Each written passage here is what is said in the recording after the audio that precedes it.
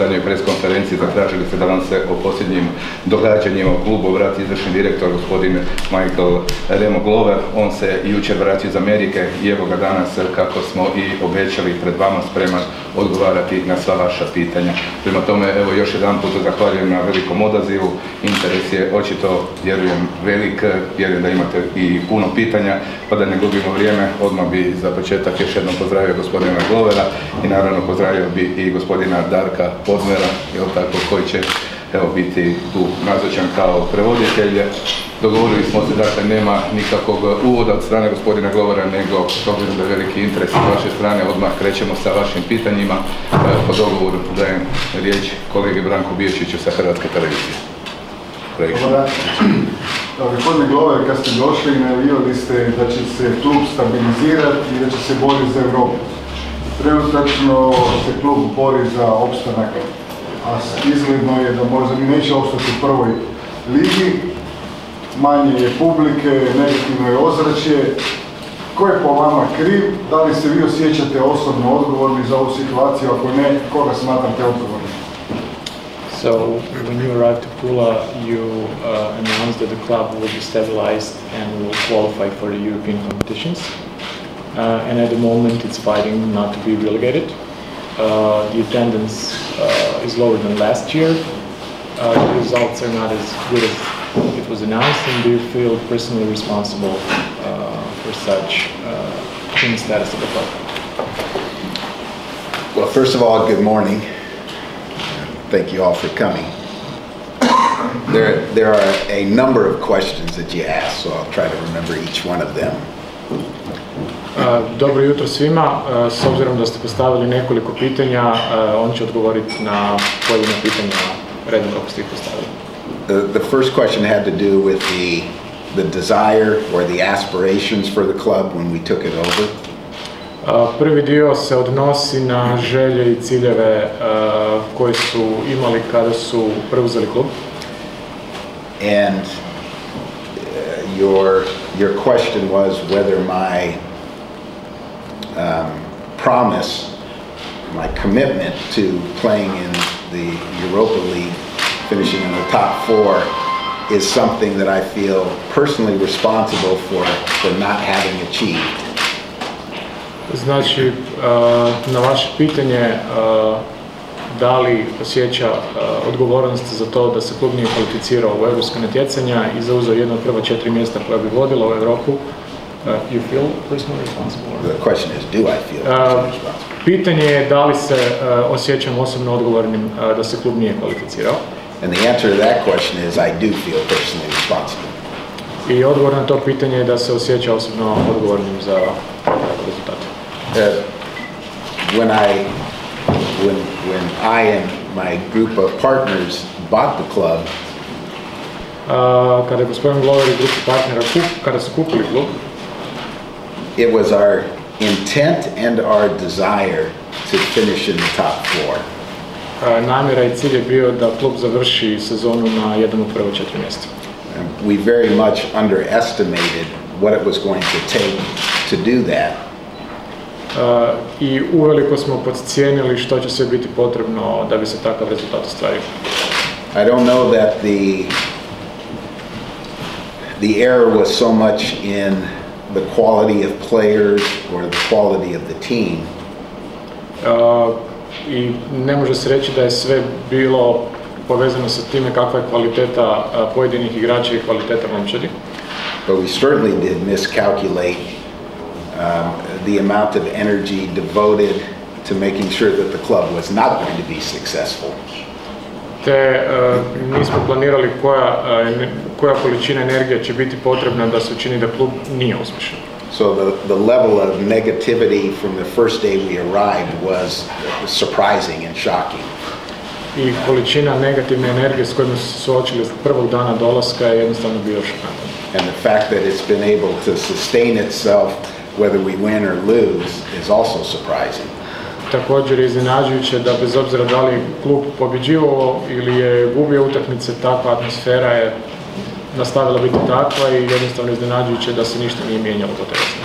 But the, the part of it that I can control, which is the, the quality of the performance on the field, Što se tiče onog dijela koji on može kontrolirati, a to je kvaliteta izvedbe momčadi na terenu, that I do have to accept responsibility for. Za taj dio uh, mora preuzeti odgovornost.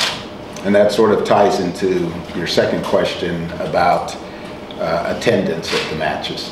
I taj uh, dio se direktno nadovezuje na vaše drugo pitanje koje se odnosi na posjećenost na stadionu. I think there's been a, a lot of uh, negative energy and, and uh, publicity I bilo je jako puno lošeg publiciteta uh, i objava that has certainly impacted the, uh, the desire of people to attend the matches. i to je svakako utjecalo na želju ljudi da dolaze na stadion. And that level of uh, gratuitous negativity, negativity without any basis, in fact, just driven out of a desire to be negative, Uh, jednostavno takva negativnost uh, bez osnove je jednostavno tjerala tu negativnost da ostane na površini. Is, is something that is unfamiliar to me in my experience in business. I to je nešto što je njemu nepoznato kao dio poslovanja. But the negativity that comes from not being able to provide a quality product on the field that is entertaining Ali onaj dio negativnosti koji se odnosi na to da jednostavno izvedba na terenu uh, nije zadovoljavajuća, that is a responsibility that I have to accept. za taj dio razloga i dijela koji utječe na taj dio negativnosti on prihvaća odgovornost. Fans have the, the complete um, discretion I navijači imaju svako pravo about how they want to spend their money and, and who they want to support. uh, kako će potrošiti svoj novac i koga će podržavati. And there are some fans who will spend their money and support the team because the team needs their support. I neki navijači će podržavati uh, momčad zato što momčad treba podršku and because they they feel that the team is part of, of who they are and part of their community i zbog toga što uh, smatraju da su dio tima i dio zajednice. And then there are fans who will only pay to come watch if they are being entertained at a at a level that makes it worth their while Dok s druge strane ima i navijača koji će doći na stadion samo ako je izvedba momčadi takva da će oni biti zadovoljni onome što gledaju na terenu. we haven't done a very good job lately of entertaining our fans A u zadnje vrijeme svakako momčad nije pružila takvu razinu igara koje bi zadovoljavale uh, ukus takvog dijela tih dijela. So I understand when people don't want to spend their hard-earned money to come watch a product that is not entertaining or pleasant to watch. I stoga razumije taj dio navijača koji jednostavno ne žele potrošiti teško stečeni novac uh, na gledanje momčadi koji neće zadovoljavati njihov ukus. And I, I hope I answered all your questions. If not, please uh, remind me which one I missed. Da, ako je propustio neki dio uh, pitanja i nije dao odgovor na njega, slobodno uh, recite koji dio much. Kolega, Ja ću vam, gospodine Gover, dati vaše odgovore koje ste vi meni poslali prije nego što je uopće počeli ovi slavni rezultati, da vam prevedu vaš prevoditelj, jer ne znam da li ste uopće vi to odgovarali, a ja neću sad gubiti vrijeme, nego ću pročitati šta ste vi odgovarali i zbog čega je negativna atmosfera takva kakva jeste. Jedini isključivi krivac za negativnu atmosferu NK Istri ste vi, Seatka Racelinović i vaše vodstvo.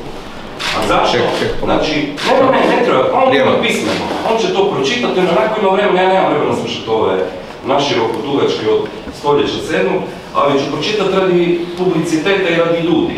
Znači, prvo pitanje je pisao, e, bilo izgledali da je Istra nešto slabije ušla u prvenstvo nego što je bila prošle godine, on kaže ovo je vrlo teško pitanje za odgovoriti jer samo pitanje implicira veliko neznanje s vaše strane jednu veliku neobjektivnost. To je prvi odgovor.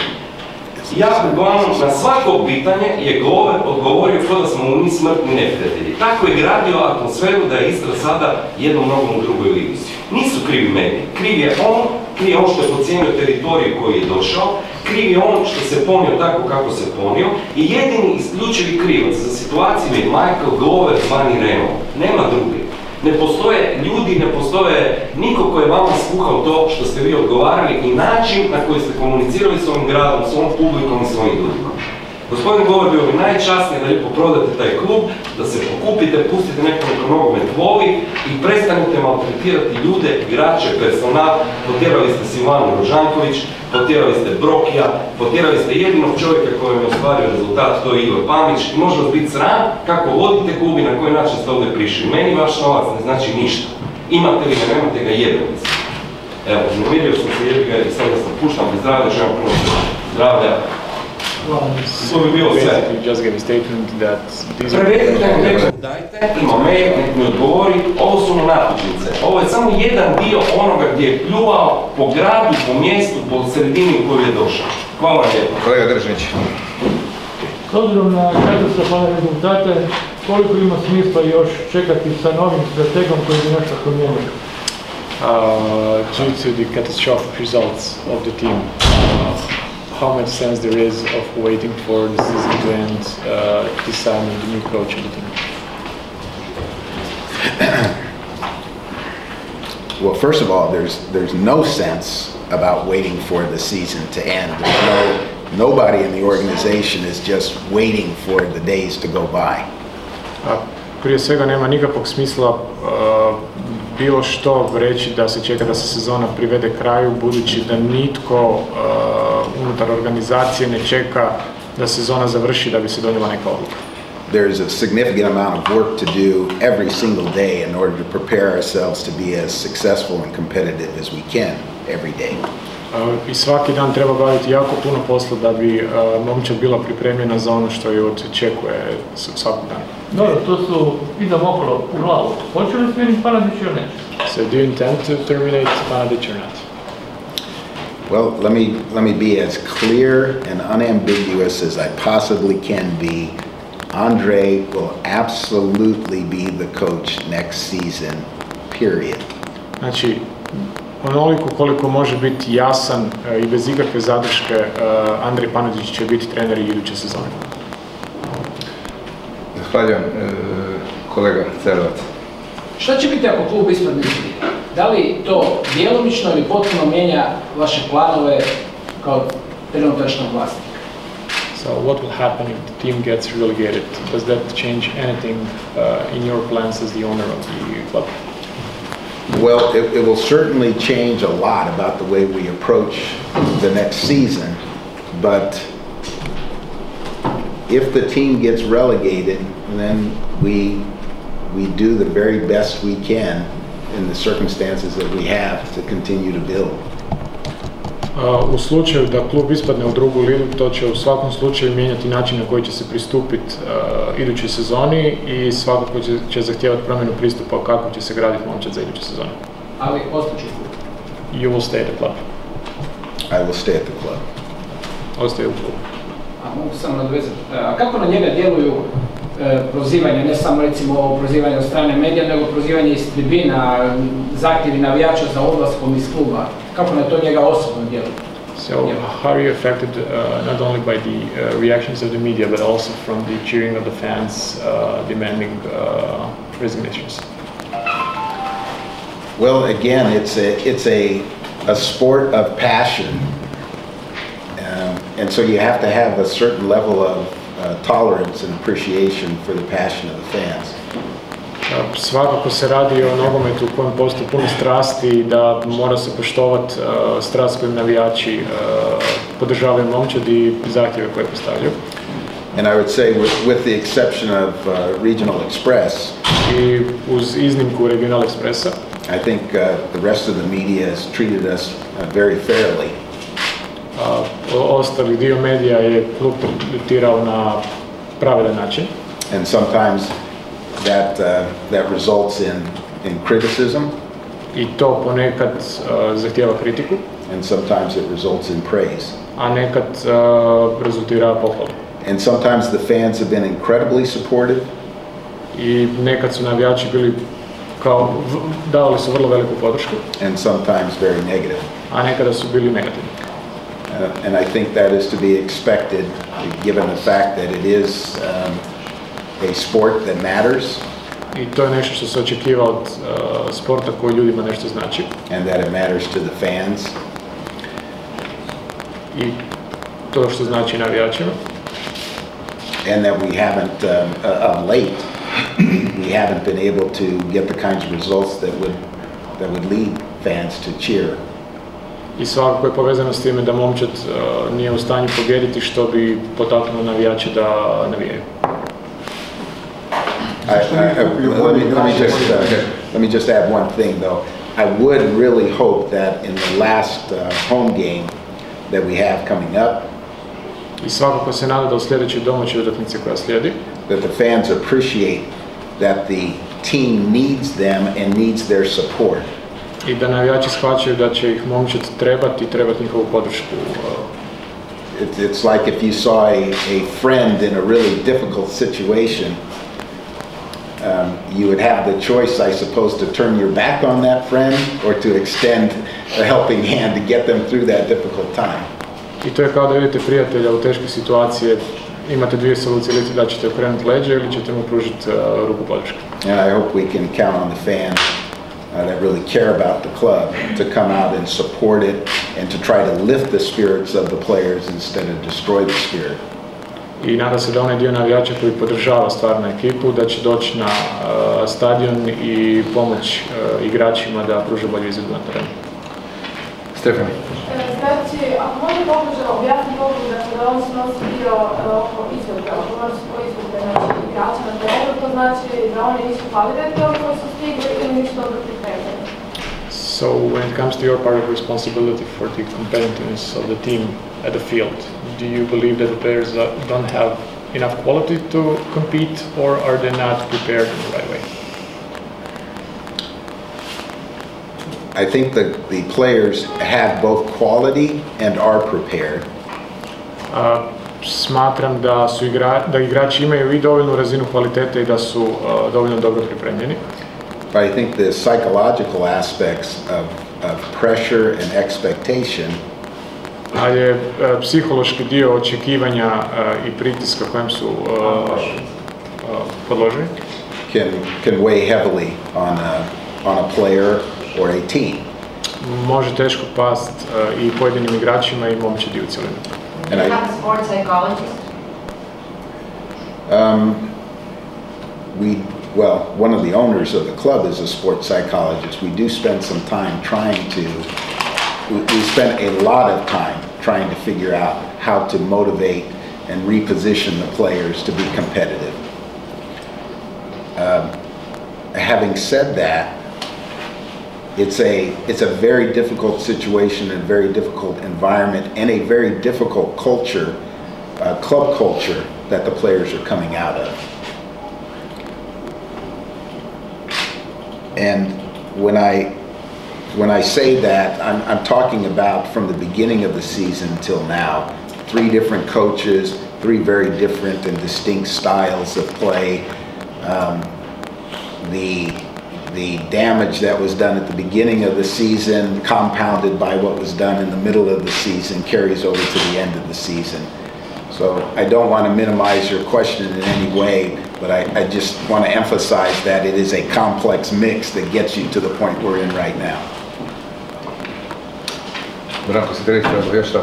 Pa, htio sam ga samo pitati, ako je postavio tako visok cilj, dakle ulazak u Europu četiri mjesta, uložio novac, zašto nije uložio novac u kvalitetnije igrače, iskusnih trenera da to ostvari? Prošli su uglavnom igrači koji su, ne znam, anonimni, nedovoljno iskusni, koji traže svoje afirmacije ovdje. Zašto nije dovoljno nekoliko kvalitetnih igrača i kvalitetnijih iskusnih trenera da ostvari to zbog čega je došlo? Since at the beginning of the season you set up pretty high goals to finish at uh, top four places and compete in the European competitions, uh, why exactly didn't you invest more money in players with more quality and uh, coaches with more experience, which would allow you to reach that goal? Well, let me first address the question of the coach with the experience. I think we had a coach who had experience. Znači prvo da se svrne na onaj dio pitanja o trenerima s iskustvom, uh, smatra da je u početku bio trener koji ima iskustvo. It ultimately came down to whether that coach was able to, to do the job in the way we expected the job to be done. A na kraju se svelo da uh, pitanje tog trenera uh, na pitanje da li on može obavljati, obavljati posao na onaj način koji se očekivao od njega. But it's, it wasn't a matter of, uh, of not investing in a coach. We had a, an enormous investment in that coach, financially and otherwise. I što se tiče investicije u trenera, uh, s tim trenerom je bila povezana poprilično velika investicija. Just, just to clarify something, in case there's any confusion about it in this room, when I bought the club, the obligation to that coach was about 215,000 euro a year. Znači, ako u ovoj sobi postoji nekakvih uh, činjenica koje su nepoznati nekim ljudima, znači uh, financijski izdatak za tog trenera kada je klub kupljen je bio 215.000 eura na godišnjoj bazi. And that was for a club that was four or five months behind in payments to everybody else. I u tom trenutku je klub uz takvu financijsku obvezu bio 4 ili 5 mjeseci zakršenju sa plaćanjem ostalom dijelu zajednice. Uh, with respect to the quality